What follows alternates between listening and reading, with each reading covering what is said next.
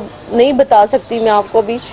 तो वो बच्ची को ये चीज़ें थी, लेकिन जब बच्ची मिली है और वो समझे एक दो मिनट बाद वो जब जज साहिबा भी बैठी हुई थी, जब फ़र्स्ट मीटिंग में तो वो उसने अपने बाप से गिला कि आप, मैं बाबा, आप इतने पास हैं, हम कराची में तो आप मुझे मिलने क्यों नहीं आते? तो वो जो चाइल्ड प्रोटेक्शन की जो ऑफिसर थी, उन्होंने मुझे कहा कि इसे मुझसे बार बार पूछती कि मेरा वालिस गेट जो है हमारे घर का, आपके यहाँ से कितना दूर है? मैंने कहा, पंद्रह, वो कहती है, मैंने कहा पंद्रह बीस मिनट का रास्ता है।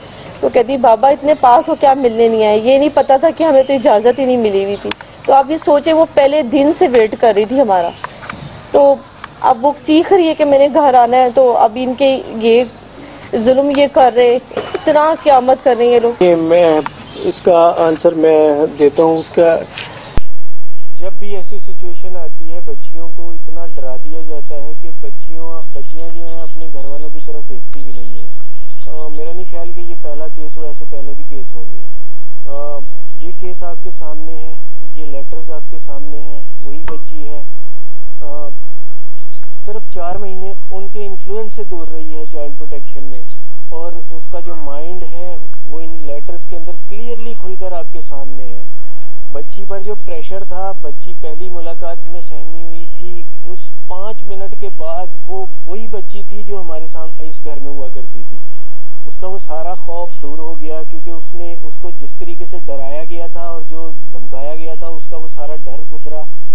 अब वो विलिंग है कि एक लम्हे से पहले घर वापस आए, लेकिन अनफॉर्चुनेटली हमारा कानून ऐसा है और उसके अंदर इतनी इतनी गुंजाइश है मुलजमों के लिए या मुजरमों के लिए, मुझे करेक्ट अगर मैं अल्फाज यूज़ करूँ, कि वो इनका फ़ायदा उठाते हैं और डिले टैक्टिक्स डिले टैक्टिक्स मैं कहता हूँ, अगर मैंने अभी बोला कि अगर आठ महीने ये ट्रायल स्टार्ट नहीं हुआ, मैं कहता हूँ, अगर महीना और भी नहीं हो तो उससे फ़र्क शायद इतना ना पड़े, लेकिन बच्ची अगर विलिंग है और वो तकलीफ़ में है, अपने घर वापस आना चाह रही है, अपने दिल से बगैर किसी प्रेशर के वापस आना चाह रही है तो मेरा नहीं ख्याल कि दुनिया का कोई भी कानून रोक सकता है बच्ची को और बच्ची को फ़ौर वापस भेजना चाहिए अच्छा, की तरफ़ से आपने ज़िक्र किया कि जी उस पर जुल्म किया जा रहा है या किया गया जुल्म क्या फ़िज़िकल कोई जुल्म है क्या बात आपके सामने देखें बच्ची की तरफ़ से आई देखें ये चीज़ें कोर्ट के अंदर डिस्कस हों तो बेटर होंगी। मैं ये माँ ने कुछ चीज़ें रिवील कर दी मैं ये नहीं करना चाह रहा था और मैं भी, भी नहीं करूँगा। बहुत बेहतर होगा कि बच्ची जब कोर्ट में आए किसी भी कोर्ट में ट्रायल कोर्ट में ट्रायल ज़ाहिर है ट्रायल है फैमिली कोर्ट में भी ट्रायल है कहीं ना कहीं तो बच्ची को बुलाया जाएगा।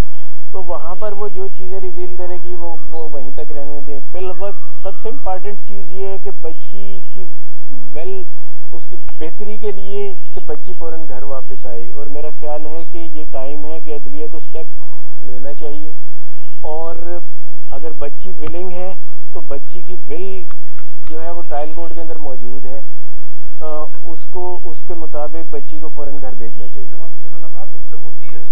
तो वो किस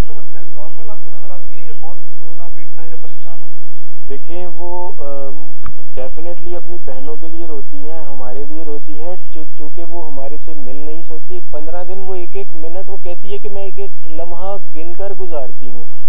तो आप खुद सोचिए, ये उसके लिए कितना अजियतनाक होगा एक बच्चे के लिए, एक चौदह साल के बच्चे के लिए, कि वो अपने वालदेन से दूर हो और इस सिचुएशन इस इस क्राइसिस से गुजर कर आया हो और उसके बाद वो अपने माँ बाप से ना मिल सकता हो। ये तो मैं अदलिया का शुक्रिया अदा करूँगा जिन्होंने जस्टिस पंवर साहब ने हमें मौका दिया और उसके बाद फैमिली कोर्ट ने मुलाकात लो की और अब ये सारी चीज़ें रिवील हो रही हैं और यही इन्हीं रिवील होती हुई चीज़ों का डर है दूसरी दूसरी पार्टी को कि वो अब खौफजदा होकर डिले टैक्टिक्स यूज़ कर रही हैं और वो नहीं चाह रहे कि बच्ची अपने घर आए या वो नहीं चाह रही। आपने देखा होगा कि वो बच्ची की 164 उन्होंने लगाई हुई थी और वो उन्होंने कैंसिल कर दी। क्यों कैंसिल की? उन्हें इस चीज़ का डर था कि अब बच्ची आएगी और बच्ची आकर रिवील करेगी, वो जो, जो, जिसका उन लोगों को डर है। अच्छा तो माहौल अंदर कैसा है? वहाँ सेफ्टी और सिक्योरिटी के वाले से बच्चे सर बहुत बहुत सेफ़ माहौल है। मैं पर्सनली मैं सबसे पहले तो ये दुआ करूँगा कि हर बच्ची अपने घर में रहे और ऐसी जगहों से आ, कोई बच्ची ना आए। लेकिन आ, अगर कोई किस्मत किसी बच्ची को ऐसी जगहों पे ले आती है तो मेरे ख्याल से ये बड़ा सेफ़ शेल्टर हाउस है। अ, इनके एस हैं बड़े स्ट्रिक्टली ये उन एस को फॉलो करते हैं। आप यकीन करें मैं शुगर का पेशेंट हूँ और अपने साथ बिस्किट या पानी की बोतल रखता हूँ क्योंकि तीन घंटे या पाँच घंटे की जो मुलाकात होती है वो मेरे लिए काफ़ी ज़्यादा हो जाती है। इस सेंस से कि मुझे इनटेक करना पड़ता है पानी या या, या मीठी चीज़ का। तो मैं अपना पानी की बोतल मैं उस बच्ची को नहीं दे सकता वो एस उनके हैं बच्ची ने अगर कोई चीज़ यूज़ करनी होती है पानी पीना होता है कोई चीज़ खानी होती है तो वो शेल्टर हाउस का जो उनका अपना डेडिकेटेड पानी है वो वहाँ से आता है। इससे आप अंदाज़ा लगाइए कि उनका वो कितनी केयर करते हैं इस चीज़ की।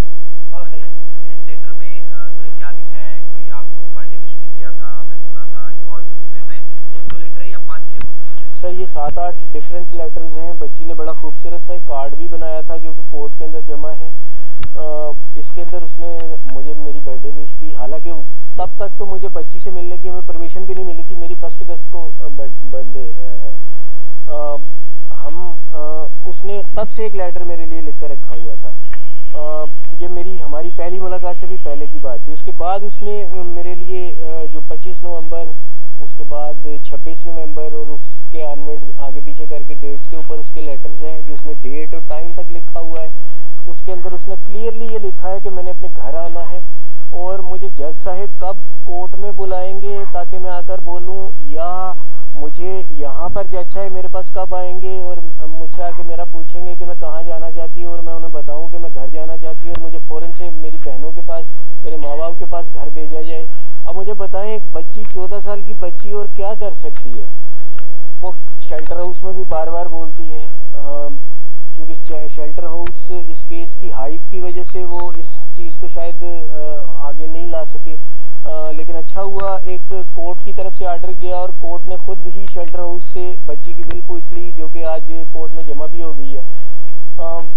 मेरा सवाल है कि बच्ची किस तरीके से अपने घर आएगी? बच्ची खुद आना चाह रही है? अब क्या प्रोसीजर है? मुझे बताया जाए ताकि मैं वो, वो मैं फॉलो कर सकूँ। मैं कौन सी अदलिया का दरवाज़ा खटखटाऊं कहाँ पे जाऊँ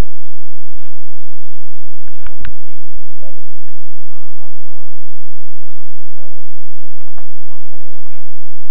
ये आप इसे फोकस करना चाहते हैं कर लो।